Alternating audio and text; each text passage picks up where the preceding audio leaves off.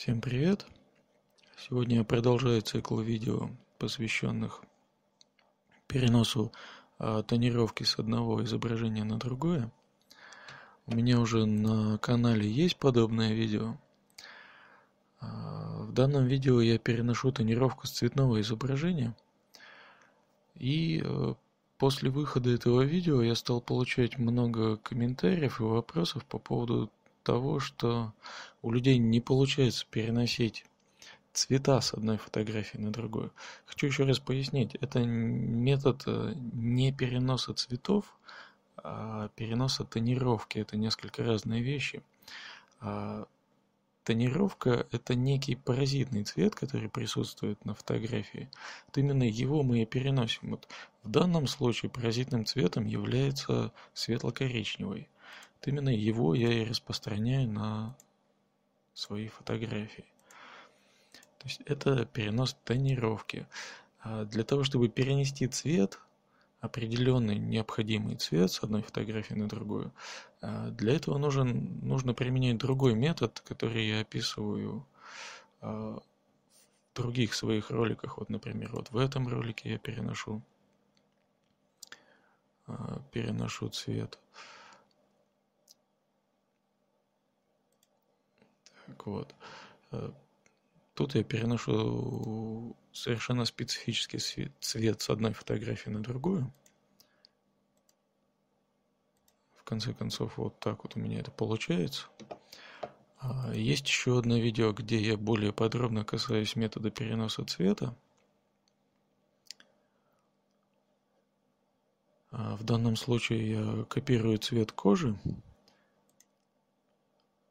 но прежде чем а, я подхожу к копированию кожи, я объясняю метод достаточно подробно на других фотографиях. Сначала на простых примерах, потом рассказываю более сложные а, варианты переноса. Вот в частности, я подгоняю цвет кожи.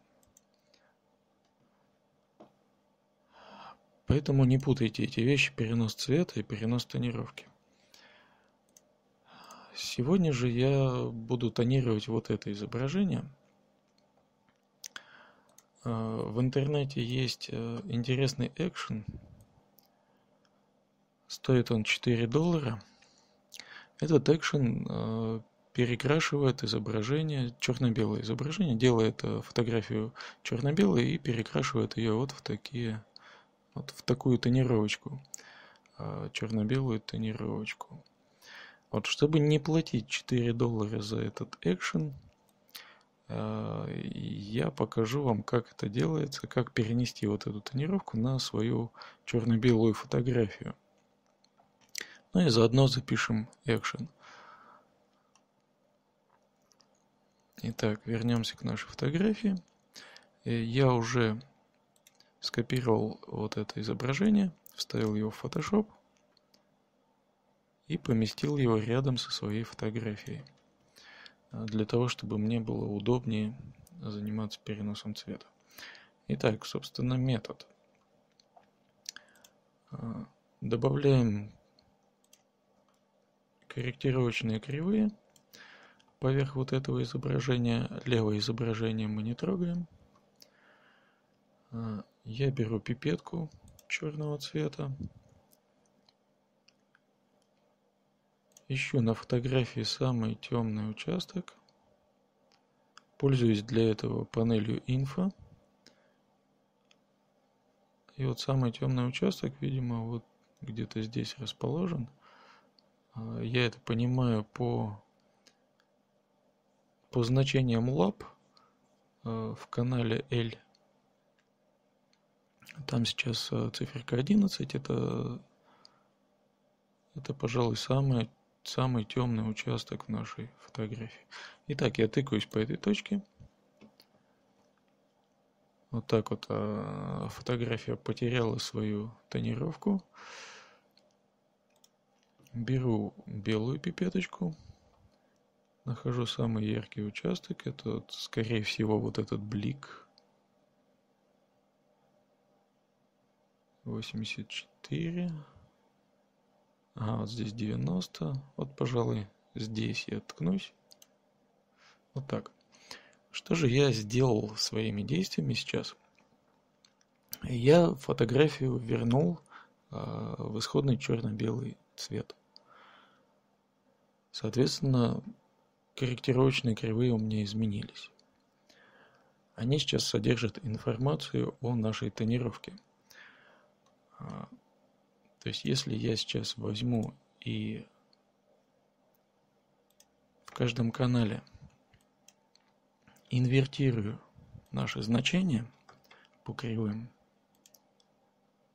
смотрите, что я делаю. Я беру и меняю значение.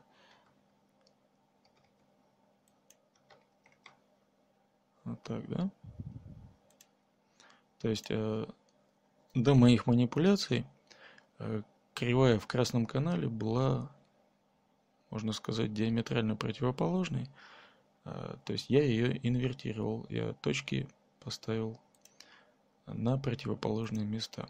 Итак, еще раз вот э, зеленый канал. Я отмечаю точку. Тут их две. А, вижу, что здесь написано 30 и 0. Я меняю местами 0 и 30. Подхожу к другой точке. Вижу, что здесь 230, 250. Ставлю сюда 250, а сюда 230.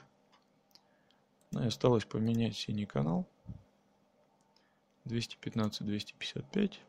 Так, 44, 0. 0, а сюда 44. Так, а вот здесь уже 215, 255. 255, 215. Вот так. Итак, э, я инвертировал кривые, которыми восстановил изображение. И для того, чтобы применить э, эти кривые к моему изображению, которое находится слева, я Кладу эти кривые поверх изображения, нажимаю Alt и применяю эти кривые именно к этому изображению. Таким образом, я воздействую только на левое изображение этими кривыми, а правая часть у меня остается неизменной. Итак, как вы видите, э, тонировка у меня перенеслась, но контраста изображения не хватает немножко. Поэтому я оставляю мастер кривую, и ищу самый темный участок уже в моем изображении. Опять же, ориентируясь на значениях лап. Итак, примерно это, ну, наверное, тут. Итак, заметьте, на мастер кривой появилась точка. И я эту точку сдвигаю вниз. Тем самым затемняю темные участки еще сильнее. Так, сейчас я ищу самый светлый участок изображения. Это вот можно этот взять. Беру его и тащу вверх. Осветляю. Так я добавил контраст изображению. Достаточный контраст, которого не хватало. Итак, ну, мы видим, что э, перенес я изображ... Э, перенес тонировку недостаточно точно. То есть э, в правом изображении у нас несколько более выражен синий оттенок в тенях, поэтому я собираюсь сейчас немножко подправить мои кривые. Иду в синий канал, отмечаю точку в тенях – и поднимаю ее чуть повыше.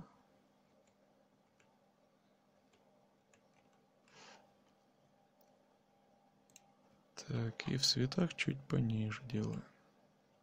А может и чуть повыше.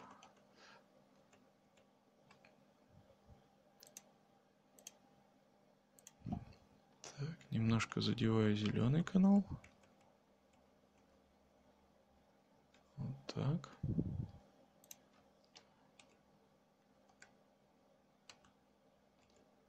Совсем небольшие правки вношу. Возможно, еще красный канал чуть-чуть подправлю.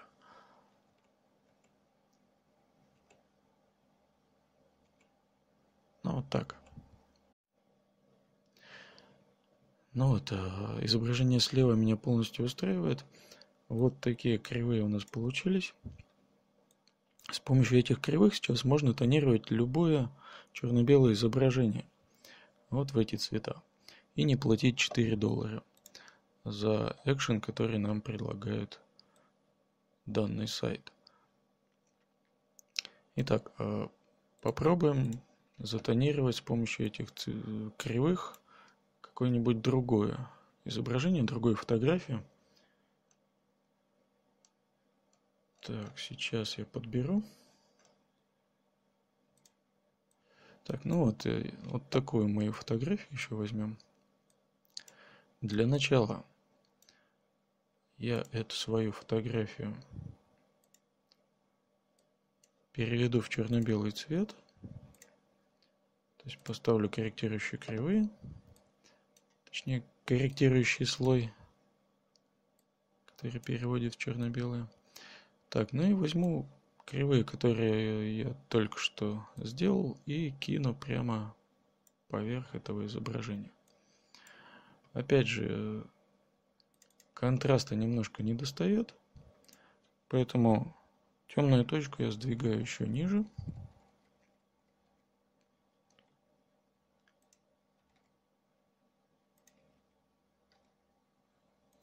Так. Ну так, получилось. Получается все замечательно. Вот таким вот образом.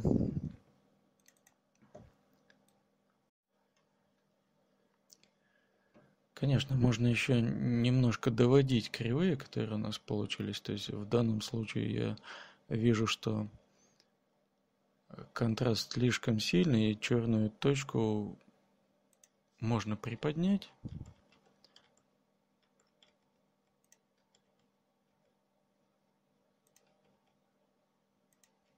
Ну, вот так.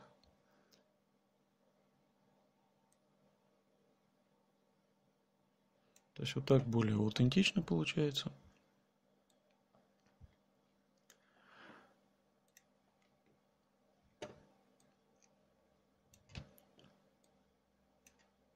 Теперь у меня есть кривые для того, чтобы тонировать черно-белое изображение в такой цвет. Спасибо за внимание. Экшен мы с вами запишем в следующем видео. Я выложу его в свободный доступ. Можно будет его скачать.